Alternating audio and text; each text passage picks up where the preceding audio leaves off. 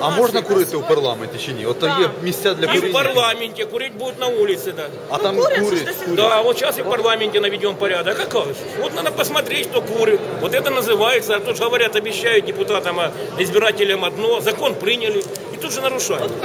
Соответствующие службы, соответствующие службы еще, ну, э, как это, закон не почитали. Я думаю, соответствующие службы парламента, аппарата почитают, это самое, четко таблички повесят. Вот, позор депутатам, которые нарушают закон. Да, и так дальше. И в кабинетах, и в кабинетах не будет никто курить. А как же? Это ж, ну, со злом надо бороться. Я хозяин, я курить Вы знаете, ну очень тяжело бороться с привычками.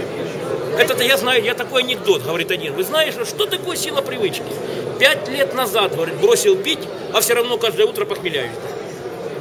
Вот сила привычки, она очень такая, это, очень, ну, настолько ну, это консервативность проявляется, инерция. Сразу вот нельзя. Поэтому, но в этом направлении мы будем дожимать. А как же?